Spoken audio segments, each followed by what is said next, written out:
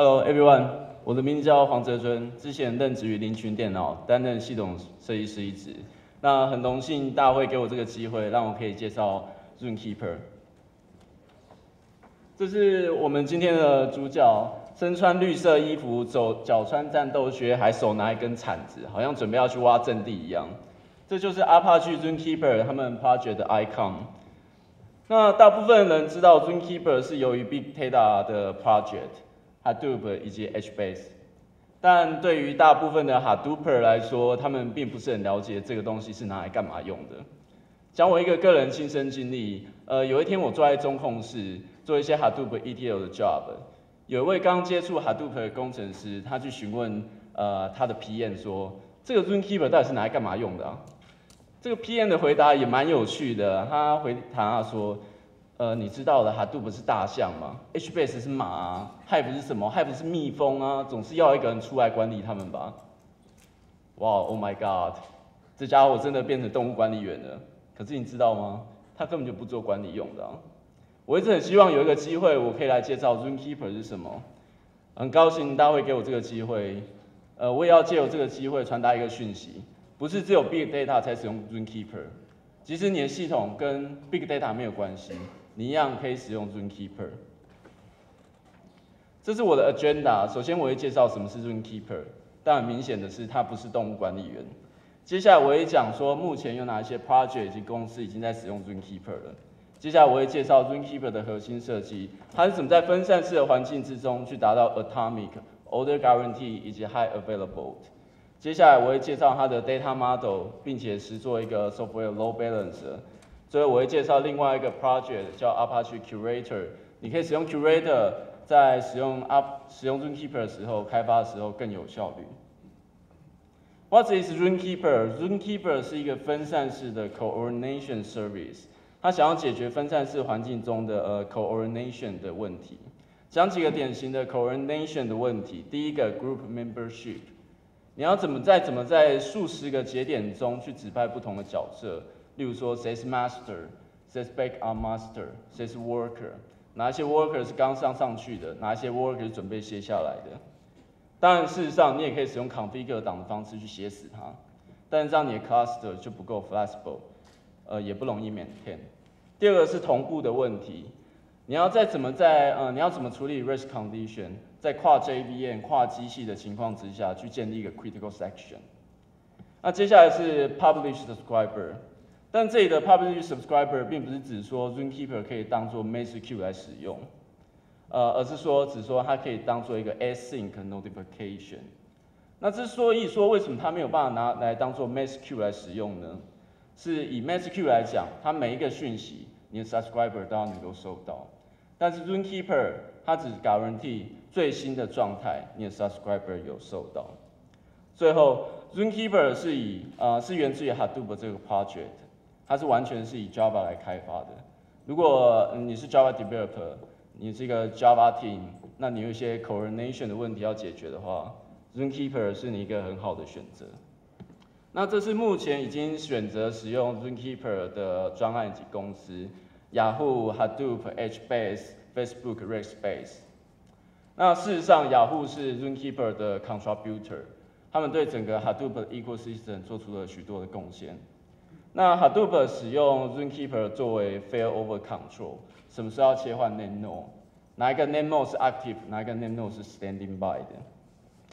那 HBase 使用 Runkeeper 来储存它的 metadata。那 Facebook 使用 Runkeeper 作为它的 failover control、sharing and service service discover。而 Rackspace 使用它来决定谁是哪一个节点是 leader，并且使用 Runkeeper 作为它的 Share Distributed lock。那为什么这些大公司，呃，比较大型的专案，他们都使用 Zookeeper 呢？主要是因为 Zookeeper 有几个以下特性，呃，第一个 atomic，避免部分写入。你要在分散式的环境之下，需要得到一个 atomic，并不是一件容易的事情。你必须要跟很多节点做 sync，可是问题是每一个节点都有可能挂掉。你要再怎么在一个高可靠度跟高效率的情况之下做取舍呢？呃，我会在下一张投影片解释说。Zookeeper 它是怎么做到的？第二个 Order Guarantee，如果 Zookeeper 它没有 order guarantee 的话，它就没有办法做到 multiple operation。讲一个最简单的例子，你如果先写入再删除，你再先删除再写入的结果，会跟你先写入再删除的结果一样吗？很显然是不会一样的。OK，所以在分散式的环境之下呢，为什么我们一直讲分散式？就是因为我们可能会尝鲜，有一些节点可能就有一些问题，就像现在这个样子，可能会有一些问题。OK，不过很明显的，我们现在是 single machine。OK，所以我今天讲的 Zookeeper 它是适用在分散式的环境之中。OK，接下来是呃 async notification。哇。呃，接下来是 async notification。那 sing 呢我们就可以是讲说当你的 zookeeper 的结构如果产生变化的时候它去 trigger 你的 subscriber 那我在这里我还是要讲一下这个呃 zookeeper 它不适合拿来作为 mess q 来取代 mess q 取代 mess q 来使用。呃原因就是因为它整个港湾地目前最新的状况。如果你把 zookeeper 拿来当做 topic 来用的话那是会有灾难发生的。那最后一个是 High Available，呃，Zookeeper 它是一个分散式环境，就是如同我刚刚所提到的，呃，所以它具有 High Available。那 Zookeeper 它没有所谓的主节点设计，没有所谓主节点设计，或者说任何节点都有可能是呃主节点。这跟 Hadoop 有一点差异，因为 Hadoop 是存在的主节点跟 Worker。那因为时间的关系，我只介绍 atomic 这个特性。那 Zookeeper 依赖 Zab 来达到一个资料的一致性。那 Zab 的全名叫做 Zookeeper Broadcast Atomic Protocol。呃，这个有 paper 可以看。那不过我还是讲解一下它大致上面怎么做的。呃，比如说我现在有三台 Zookeeper server，那他们首先会基于它的 transaction ID 跟 SID 去选出它的 leader 跟 follower。呃，如下图。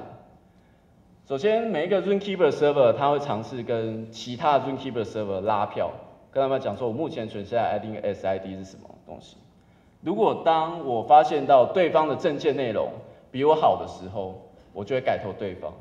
当任何一台 Zookeeper server 得到过半的选票的时候，它就成为 leader，其他就会成为 follower。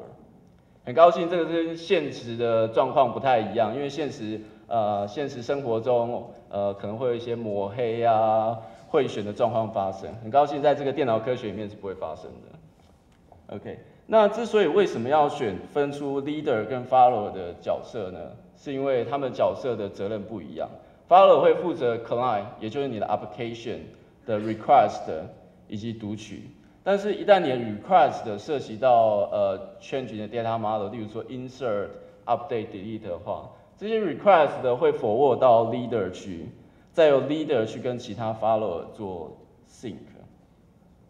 这个是 Zab 跟 Parcels 的最大差别，也就是它存在的所谓的 leader，也是呃为什么 Zab 可以达到 order guarantee 的原因之一。那选出 leader 跟 follower 之后，基本上整个 Zab 整个 Zookeeper cluster 就可以开始使用，可以接受 request。那它的 broker's update 过程其实跟 Parcels 是很雷同，它一样需要经过三个阶段：propose、呃 accept 跟 commit。但是不一样的是，只有 leader 可以做 propose。那之所以什么叫做 current number 呢？current number 是指说，当你一个 propose 提出来的时候，要经过多少的 acceptor，呃，才可以 commit 才成立。那以 Zab 的设计的话，就是要过半。在这个例子里面的话，就是需要两个。其中包包诶包含 leader 这样子，呃，我常常被问到一个问题，就是说为什么你的 Zookeeper 的 class 的最小集群是三台，不是两台呢？原因就是因为，原因就是因为 Zab 的关系，原因就是因为 Zab 的关系。这个是 Zookeeper 的 data model，你可以叫它 data tree，你可以叫 namespace，你可以叫 directory，however，可是它绝对不会是 table。呃，正正式来讲，我们叫每个咖啡色的节点，我们叫做，呃，它现在看起来不太像咖啡色的，不过你们知道的，每个节点我们正式来讲叫做 z node。那这个 Z Node 上面你一样可以去设置一些 ACL，就是这个 owner 是谁，谁可以 read，谁可以 write。可是比较不一样是，呃，Z Node 存在三种不同的特性，呃，分为 persist、ephemeral 跟 sequence。那所谓 persist Zeno 的话，就是资料会一直持续储存在呃 ZooKeeper 上面，不会因为你 shut down 就就资料就不见了。但 ephemeral Zeno 很不一样的是，它跟你的 client 就是跟你 application 很大的关系。呃，一旦你这个 client 的 session 如果 close 掉之后，由这个 session 所 create 的 ephemeral Zeno 就会被 ZooKeeper 删除掉。我们在等下呃 low balance 的部分，我就会使用到这个东西。那 sequence Zeno 它可以是 persist，它也可以是 ephemeral，端看你的使用。那所以 sequence Zeno，它是会在 Zeno 后面额外去添加一串 sequence number，而这个 sequence number 是不重复的，而且是递增的。所以很多人就会利用这个 sequence Zeno 的特性来作为它的 shared distribution log。我等下也会提到。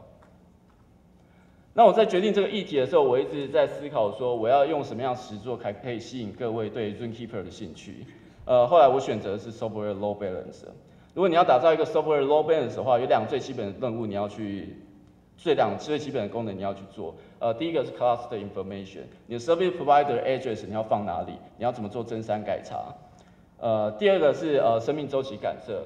如果说你的 service provider 如果挂掉的话，你就不要再把流量导到那里去了。我使用 Tomcat 作为我的 web container。一旦 Tomcat 如果起来的话，它就会到 ZooKeeper 上面去注册一个 ephemeral Znode，并且在 ephemeral Znode 上面去撰写它目前的位置以及它的流量负荷状况。呃，其他的 Tomcat 就可以从这 ephemeral Znode 去得知它的位置以及状态，再决定说我要不要把流量导到那里去。呃，因为是 ephemeral Znode 的关系，所以当这个汤配如果挂掉卸下来的时候，这 e f a m z n o 就会消失掉，所以其他汤配就不会再把这个流量到那里去。呃，那你可以额外看到上面有一个 session，那这个 session 是我额外做，因为我要做 sticky session。对，那看你的应用有没有需要做这个。那比如说，如果你应用如果是 gateway 的话，就没有必要做这个。但最基本那两个功能还是还是必定要做的。那整个范例我目前放在 GitHub 上面了，有兴趣的人可以看看一下。那但老实讲呢，software low balance 它比 hardware low balance 来的慢，而且你需要额外的开发成本，所以大部分的 case 你会在呃你的 web web 前面放一个 software 放一个 hardware low balance 或者直接使用云端服务。呃，但是问题是说，如果今天你应用不是 web，你如果是 gateway 或者你自己写的一个 middleware，你有可能是有自己的 circuit protocol，那你怎么去依赖这种 hardware low balance 呢？那如果你要做一个 software low balance 的话，为什么不做分散式的？就跟我们头一遍刚刚的状况一样。我们有可能遇到很多很多的状况，虽然它整个 software low bands 可能不在你的讯体的投递路径上面，可是它却是你整个服务的中枢所在。OK，事实上 ZooKeeper 发展到现在已经好好几年了。你如果现在要直要使用 ZooKeeper 的话，事实上你不用直接直接使用 ZooKeeper native API，呃，你可以使用这个 Curator。那 Curator Apache Curator 背后是有一家美国公司叫 Netflix 在背后支持的。那这家 Netflix 这家公司是一个那个影音的 provider，那全球超过六千万的 subscriber，是一家很大的公司。那我们来比较一个最简单的例子哈，就是建立连线这件事情来讲的话，如果你使用呃 ZooKeeper Native API 的话，呃，你如果下面有看到的话，你你还得额外去处理 callback。但是如果你使用 Curator 的话，你的程式码会相精简相当许多，因为 Curator 把程式码封装更好、更完整。当然，事实上有更多人使用 Curator 的原因，不是只是因为程式码精简，而是而是因为 Curator 内建有很多 recipe 可以用。所谓的 recipe，你可以把它想象它是 high level 的 API。呃，举几个例子，比如说呃 leader selection、distributed lock、barrier、share counter，这些其实已经包含包包在那个 Curator 里面，你可以直接使用 Curator 来控哈。当然，如果你坚持是要用要使用 ZooKeeper 的。当然，你如果坚持要使用 ZooKeeper Native API 的话，呃，我也可以跟你讲怎么做。比如说，比如说 Lock 来讲的话，你必须要先建立一个 Znode，然后你要在这个 Znode 上面上面挂一个 Watcher，然后接下来你在这个 Znode 下面再再制造一个 Sequence Znode，然后知道这 Sequence Znode 从这个 Sequence Z Znode 上面的 Sequence Number 来知道你有没有得到 First Priority。如果你有得到 First Priority 的话，你就拿到这个 Lock。那你如果要 Unlock 的时候，你再把这个 Sequence Znode 给删除掉。当你删除掉的时候，这个 ZooKeeper 就会去 trigger 其他的 process，其他 process 再 trigger 它们 sequence number。但是我们需要这样不断的重复制造车轮吗？专注在自己应用上面不是会更好吗？Conclusion，呃，如果你是 Java developer，呃，你是一个 Java team，那你有一些 coordination 问题想要解决的话，Zookeeper 会是你一个选择。那谢谢各位，那这个是我的 email，那如果有有问题有交流的话，就在马上再寄信给我。不好意思，有点超过时间了。好，谢谢谢谢。